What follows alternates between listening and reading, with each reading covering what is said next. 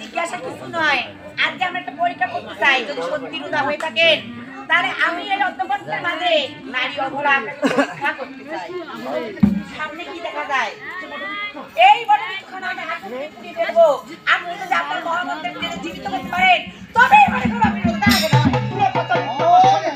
অবশ্যই তাই বলে তুমি আমার সামনে দাও না সামান্য কথা নিয়ে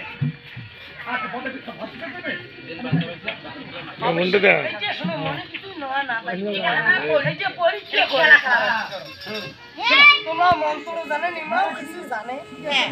ঠিক আছে না? বলি আমরা কাজ করি।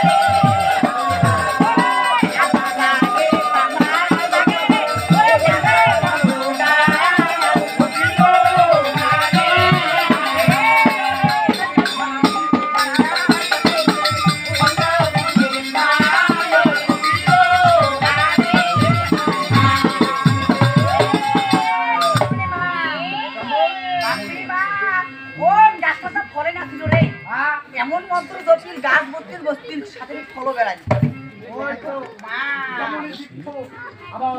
তাই সত্যি থাকুন আপনার চরণে আমার শত প্রণাম।